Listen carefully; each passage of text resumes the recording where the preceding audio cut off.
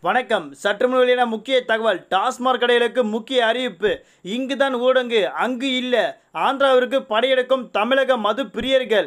எந்த நேரத்தில் வந்து டாஸ்மாக் கடைகள் திறக்க போகிறாங்க எங்கெங்கே திறக்க போகிறாங்க எல்லாமே நாம் இந்த வீடியோவில் ப்ரீஃபாக பார்த்தலாம் மறக்காமல் ஸ்கிப் பண்ண பாருங்க. உங்களுக்கு இதே போன்ற பல திட்டங்கள் ரேஷன் அட்டைக்கு பற்றி புதிய தகவல் தேவை அப்படின்னா கீழே இருக்க இருக்க பட்டனை கிளிக் பண்ணி சப்ஸ்கிரைப் பண்ணிக்கோங்க. பக்கத்துல இருக்க பெல் பட்டனை கிளிக் பண்ணிக்கோங்க. அப்போ தான் நான் டெய்லி போகிற வீடியோ உங்களுக்காக வந்து சேரும். இந்த வீடியோ உங்களுக்கு பிடிச்சதுன்னா லைக் பண்ணுங்கள் ஃப்ரெண்டு ஃபேமிலி எல்லாருக்குமே ஷேர் பண்ணுங்கள் வீடியோ கொஞ்சம் கூட ஸ்கிப் பண்ணாமல் கடைசி வரைக்கும் பாருங்கள் அப்போ தான் இந்த வீடியோ மூலமாக என்ன சொல்ல வராங்கன்றதை கன்ஃபார்மாக நீங்கள் தெரிஞ்சுக்கலாம். ஸோ இப்போ வாங்க வீடியோக்குள்ளே போகலாம். நம்மளோட தமிழகத்தில் பார்த்தீங்கன்னா முழு ஒடுங்கு ஒரு வாரத்துக்கு நீடிக்கப்பட்டிருக்குங்க.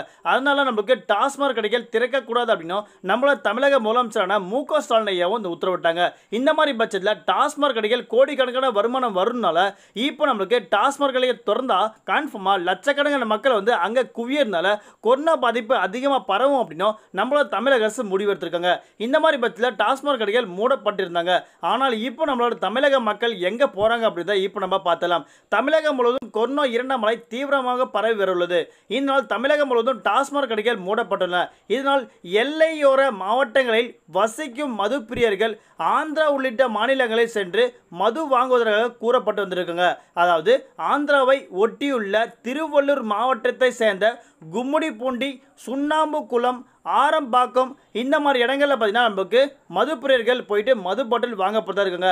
அதாவது ஆந்திரா பார்டர் பக்கத்தில் எந்தெந்த மாவட்டங்கள் இருக்கோ அந்தந்த மாவட்டங்களுக்கு ஆந்திராவுக்கு போயிட்டு மதுப்பிரியர் வாங்குறதால தமிழக மக்கள் எல்லாமே இப்போ நம்மளுக்கு அதிகமாக மது வந்து குடிக்கிறதால கன்ஃபார்மாக நம்மளோட தமிழக முதலமைச்சர் மு க வந்து அடுத்த வாரம் முதல் நம்மளுக்கு டாஸ்மாக் கடைகள் திறக்கப்படுதா இருக்குங்க. அந்த டாஸ்மாக் கடைகள் திறக்கப்பட்டாலும் நம்மளுக்கு டோக்கன்கள் விநியோகம் செய்யப்படலாம். இன்னொரு பக்கம் நம்மளுக்கு டோர் டெலிவரி செய்யப்படலாம். அதாவது ஸ்விக்கி ஜொமேட்டோ மூலிமா நம்மளுக்கு மொபைலில் ஆர்டர் பண்ணோம் அப்படின்னா வீடு தேடி வந்து மது பாட்டில் வர மாதிரி நம்மளுக்கு ஒரு புதிய திட்டம் தமிழக அரசு கொண்டு வர போகிறதா பச்சை கொடி காட்டிருக்காங்க. இது எல்லாமே நம்மளோட தமிழக அரசு உத்தரவிட்டிருக்காங்க.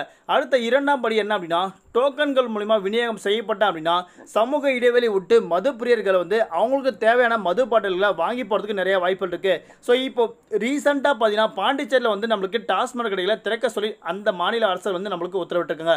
அதனால் அதே போல தான் நம்மளோட தமிழகத்தில் டாஸ்மாக் கடைகளை திறக்க போகிறதா நம்மளோட தமிழக அரசு உத்தரவிட போகிறாங்க இது எல்லாமே நம்மளுக்கு எப்போ செயல்படுத்த போகிறான்னு பார்த்தீங்கன்னா அடுத்த வாரங்கள். அதாவது இப்போ நம்மளுக்கு முழு உலக பிறப்பச்சினால டாஸ்மாக் கடைகள் திறக்கப்பட மாட்டாது. அடுத்த வாரங்கள் நம்மளுக்கு கன்ஃபார்மாக டாஸ்மாக் கடைகள் திறக்கப்படும். அதில் எந்த ஒரு மாற்றமும் கிடையாது. டாஸ்மாக் கடைகள் திறக்கப்பட்டால் நம்மளுக்கு எந்த நேரம் முதல் எந்த நேரம் வரைக்கும் செயல்படும் பார்த்தீங்கன்னா காலை எட்டு மணி முதல் மதியம் பன்னெண்டு மணி வரைக்கும் நம்மளுக்கு செயல்பட போகிறதா இப்போ நம்மளோட ஆலோசனை கூட்டங்களை பல பேசப்படுறாங்க. ஸோ எதனால் டாஸ்மாக் கடைகள் திறக்க போகிறான்னு பார்த்தீங்கன்னா தமிழக மக்கள் எல்லாமே டாஸ்மாக் கடை இல்லாதனால ரொம்பவே வறண்டு போயிட்டாங்க. இன்னொரு பக்கம் நம்மளுக்கு தமிழகத்தில் டாஸ்மாக் கடைகளில் தான் நம்மளுக்கு அதிகமான வருமானம் வந்துட்டுருக்கு இப்போ நம்மளுக்கு முழு ஒழுங்கு காரணத்தினால டாஸ்மாக் கடையில் கிட்டத்தட்ட இரண்டாயிரம் கோடி அளவுக்கு நம்மளுக்கு நஷ்டீடாக வந்திருக்கு. அதனால் நம்மளோட தமிழக அரசு வந்து இதை திறக்கிறதா நம்மளுக்கு முடிவு செய்யப்பட்டிருக்குங்க. கன்ஃபார்மாக அடுத்த வாரங்கள் நம்மளுக்கு திறக்கப்படுவாங்க. அதில் எந்த ஒரு மாற்றமும் கிடையாது.